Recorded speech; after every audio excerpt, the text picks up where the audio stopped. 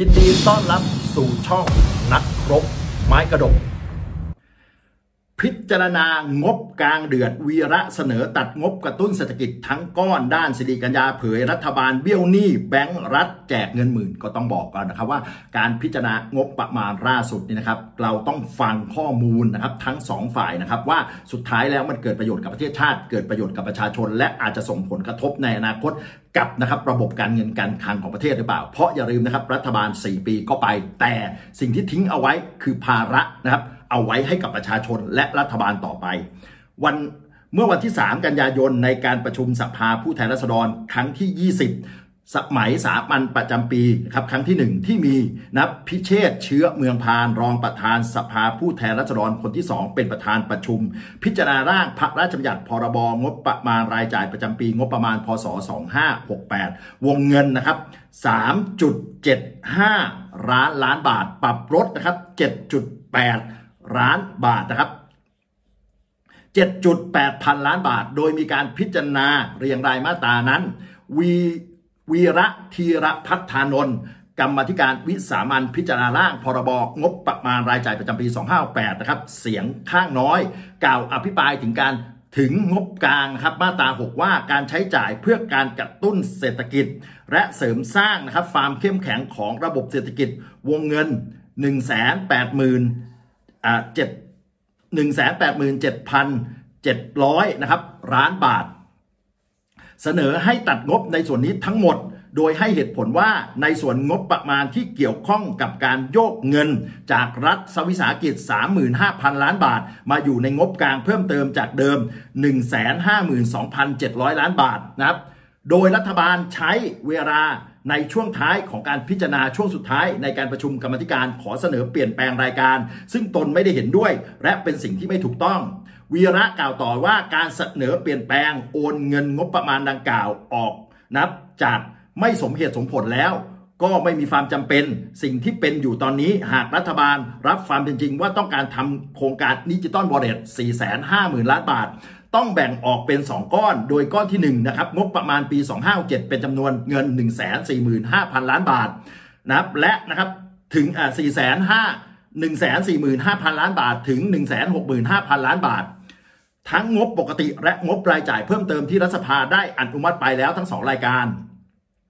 โดยใช้วิธีจ่ายเป็นเงินสด ไม่มีกระเป๋าดิจิตอลจนเกิดความสงสัยและสับสนถึงเป้าหมาย และวิธีการ การแจกเงินสดในเดือนกันยายนนี้ ให้มีผู้มีรายได้น้อย และผู้พิการที่ถือบัตรสวัสดิการแห่งรัฐ โดยไม่มีกระเป๋าดิจิตอลวอลเล็ตรองรับ จึงต้องคิดว่างบกลางที่กันไว้สำหรับการกระตุ้นเศรษฐกิจจำนวน 187,700 ล้านบาทนั้น หากมีการจ่ายเป็นเงินสดถือว่าได้ยกเลิกเป็นพฤตินัยแล้ว แม้จะไม่ได้มีการระบุว่าค่าใช้จ่ายในการกระตุ้นเศรษฐกิจสำหรับงบประมาณรายจ่ายปี 258จะออกมาในรูปแบบใดจึงเห็นสมควรที่จะทบทวนให้ผ่านงบกลาง เพื่อให้สอดคล้องกับสิ่งที่รัฐบาลทำ วีระกล่าวต่อว่าการจัดทำงบประมาณในประเภทค่าใช้จ่ายเพื่อการกระตุ้นเศรษฐกิจที่ทำให้งบประมาณปี 2567 และกำลังจะทำในปีงบประมาณ 2568 ควรจัดทำเป็นโครงการเอกเทศ ไม่ควรที่จะนับถูกเสนอแอบแฝงในงบกลาง เพราะการทำเช่นนี้จะทำให้ฝ่ายนิติบัญญัติไม่สามารถตรวจสอบได้ ซึ่งนะครับ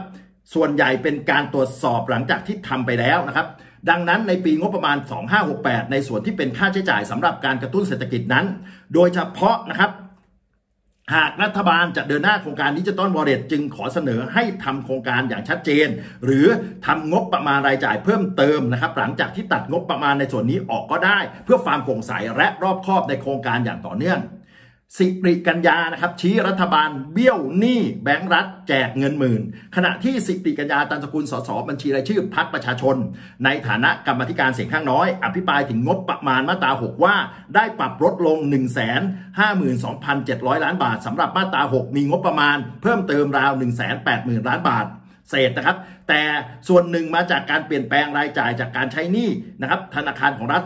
35,000 ล้านบาท แต่ตนขอตัดเฉพาะที่เป็นค่าใช้จ่ายในการกระตุ้นเศรษฐกิจ และสร้างความเข้มแข็งของระบบเศรษฐกิจอีก 35,000 ล้านบาท ให้นำกลับไปชำระหนี้นะครับของธนาคารของรัฐแบบเดิม สิริกัญญากล่าวว่าทราบกันดีว่างบกลางนะครับก้อนหนึ่งนี้งอกขึ้นมา เพื่อใช้จ่ายในการกระตุ้นเศรษฐกิจถูกนำไปใช้ในโครงการดิจิตอลวอลเล็ต ถึงตอนนี้แล้วมีวิวัฒนาการที่จะเปลี่ยนแปลงไปเรื่อยๆ ตอนนี้มีความชัดเจนเพิ่มขึ้น หลังจากนี้จะมีการเปลี่ยนแปลงรัฐบาลว่าในเฟสแรกจะจ่ายเป็นเงินดิจิตอลวอลเล็ตเป็นเงินสดไปแล้ว 14.5 ล้านคน ซึ่งจะใช้งบประมาณปี 257 ราว 145,000 145,000 ล้านบาทนะครับ จาก2ส่วน ส่วนแรกจากพรบงบประมาณ 257เพิ่มเติม 122,000 ล้านบาท ส่วนที่ 2 ใช้งบกลางบางส่วน 23,000 ล้านบาท ตรงนี้เราก็ต้องยกเลิกเรียกดิจิตอลวอลเล็ตได้แล้ว เพราะว่ามันไม่ใช่เงินดิจิตอลและไม่ได้มีวอลเล็ตแล้วสำหรับการแจกเป็นเงินสด แต่ยังทำให้มีงบประมาณอีกก้อนที่จะต้องใช้เพื่อการแจก 45 ล้านคน ซึ่งที่รัฐบาลได้เคยสัญญาไว้ คือต้องหาเงินอีก 3 5 0 0 0ล้านบาทนะครับ อันนี้คือข้อมูลนะครับที่ออกมาบอกนะครับ เรื่องของงบประมาณก็ต้องฟังดูนะครับ ข้อมูลต่างๆที่เกิดขึ้นครับมีอะไรอัปเดตมีอะไรเคลื่อนไหวมีอะไรคลิปหน้าเดี๋ยวอัปเดตให้ฟังครับ